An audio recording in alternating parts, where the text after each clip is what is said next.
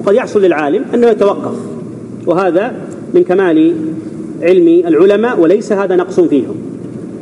وإنما هذا من كمال علم العلماء وليس هذا من باب التنقص والنقص في العلماء بل أن التوقف هذا زيادة في المرتبة وزيادة في وزيادة في العلم.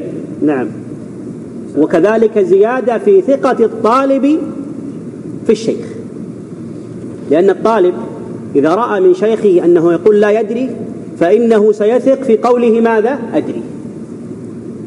الطالب إذا سمع من شيخه لا أدري فإنه سيثق في قوله أدري. لأنه لو كان لا يدري فإنه سيقول ماذا؟ لا أدري. وهذا التوقف كما يقال آه، رفعة للمعلم ورفعة للإمام ورفعة للشيخ. وإذا كان النبي صلى الله عليه وسلم قد توقف في مسألة من المسائل حتى نزل عليه الوحي حديث ماذا؟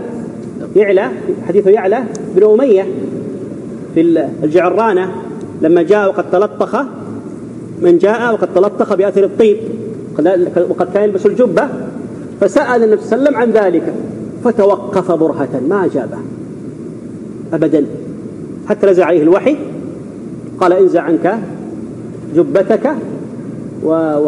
وأثر الطيب واصنع في عمرتك ما أنت صانع في حجك فقال العلماء رحمهم الله يؤخذ من هذا أن إمام المفتين الذي هو رسول الله الله عليه وسلامه عليه قد توقف في إيش؟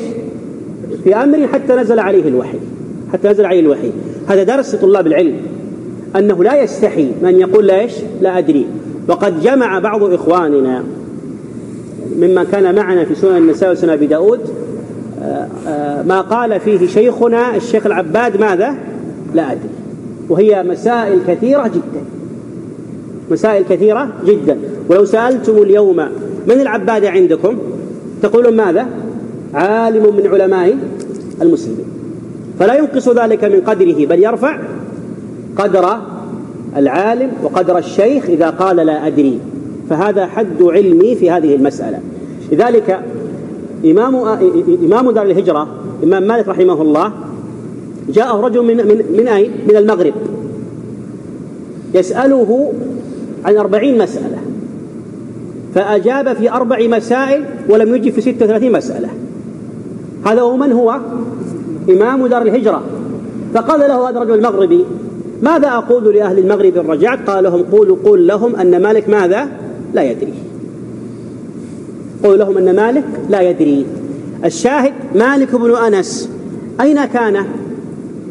في المدينة النبوية وسمي بإمام دار الهجرة.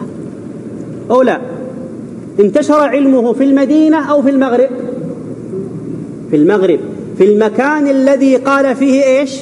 لا أدري فلما وكل العلم إلى الله أورثه الله سبحانه وتعالى التمكين في المكان الذي قد وكل العلم إليه. الذي هو في المغرب وما في أو الأندلس وفي غيرها. الشاهد من هذا أن قول لا أدري رفعة.